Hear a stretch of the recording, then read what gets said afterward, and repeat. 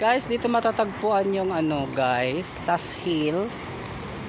Yes, may Tas Hill dito.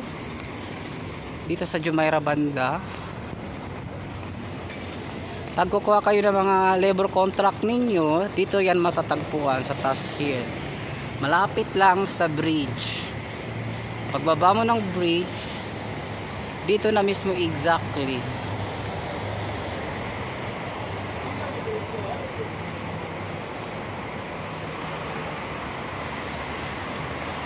Yan guys.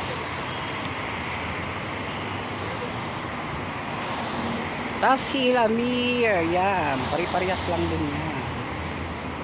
Ayan. Dito yan matatagpuan sa Jumeirah.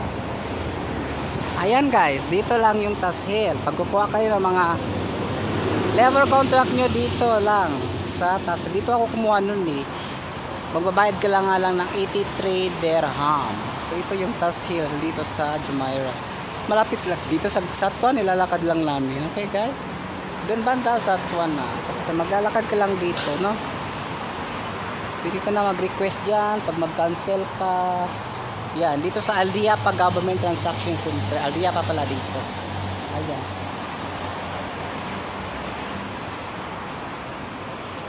Yan guys Diyan, dito ko kuha ng labor contract. Yan. Pag magpa-cancel ka ng labor diyan, pumasok ka lang dyan. Dalhin mo lang yung Emirates ID mo. Ayan guys. Special kebab. Ano, punta tayo sa park. Doyan-doyan tayo doon. Pag ganun tayo. Oo, halika na. Ayan guys, may restaurant dito.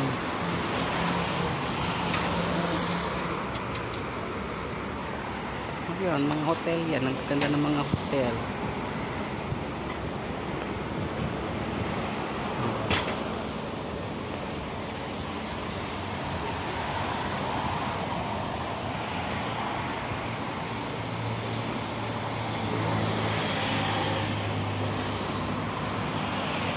Ito na dito, daming hotel. Ah, mamimili ka ng hotel. Yan, may space dito. Yan, anong hotel yan? Maganda din. So ngayon, hanggang dito na lang siguro kami kasi medyo malayo-layo na kami ng tatlo.